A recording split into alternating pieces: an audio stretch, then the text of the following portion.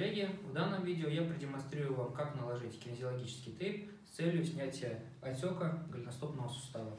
Для этого нам потребуется один тейп длиной примерно 20 см, подготовленный по лигамент техники. Я э, вырезаю обычно 4 лепесточка, можно подготавливать 3 и можно подготавливать 5. Все зависит от анатомии пациента. Отрываем подложечку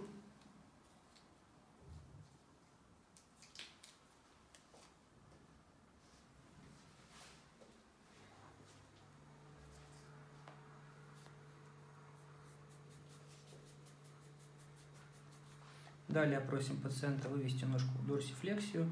Если позиционирование вызывает у пациента дискомфорт, вы работаете из того положения, которое ему комфортно и не вызывает боли. Далее без натяжения накладываете тейп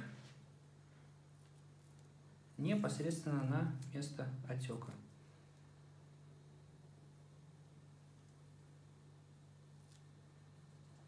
Угу. Раз. Ну. Перед наложением, пожалуйста, проверьте, чтобы ткани были обезжирены. Да?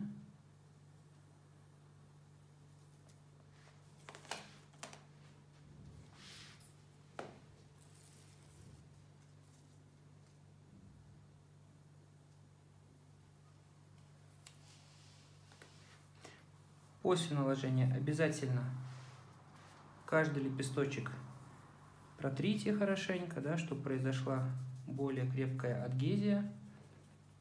В данном случае я использовал один тейп шириной 5 сантиметров. Можно использовать два тейпа, пожалуйста, накладывая лепестки раз и два. Да.